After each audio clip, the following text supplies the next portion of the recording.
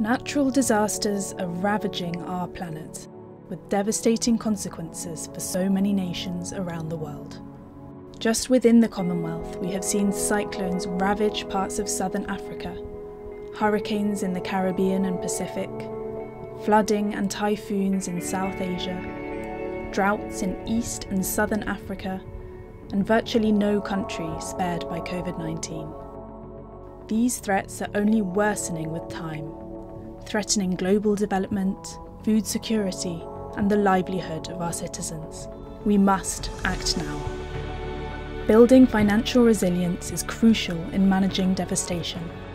However, locating, accessing, and navigating through the range of disparate funding sources can be overwhelming.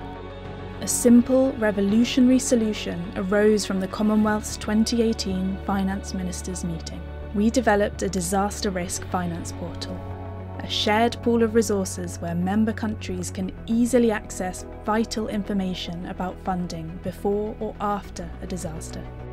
Member countries can discover and tailor to their needs a range of available instruments, like grants, loans, emergency responses, and bonds.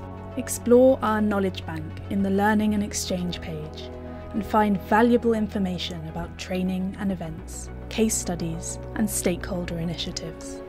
In knowing our options beforehand and becoming more equipped, countless lives can be saved, and together we can build more resilient nations.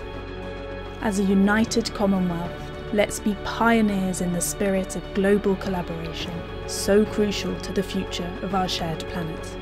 Let's join hands and tackle these disasters, be they natural disasters, pandemics, pests, or even economic shocks. Stay informed and build resilience today.